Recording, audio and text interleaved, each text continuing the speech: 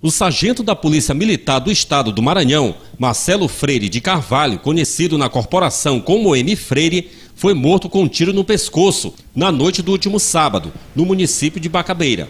O militar estava de folga e passava o final de semana em uma chácara de sua propriedade, na comunidade Gameleira, área rural do município.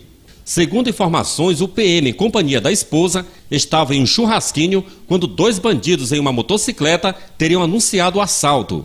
Pois é, de fato, o sargento Marcelo Freire, que mora em São Luís, trabalha na capital, mas tem uma propriedade aqui em Bacabeira, mais precisamente aqui no povoado Gameleira, e com frequência está aqui no município, foi vítima de latrocínio.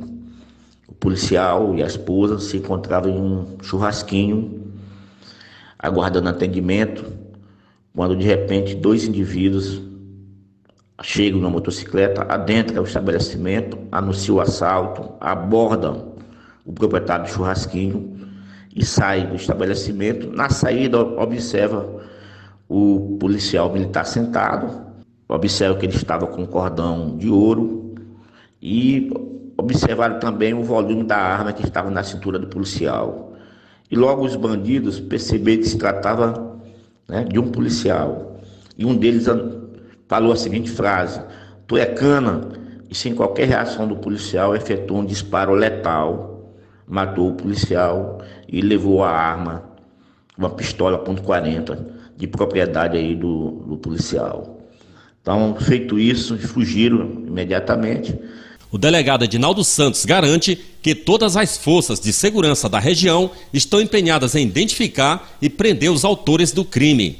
Todas as forças policiais da região Polícia Militar de Bacabeira, é, Rosário, Santa Rita, todos nós estamos trabalhando no sentido de identificar esses assaltantes e efetuar a prisão deles.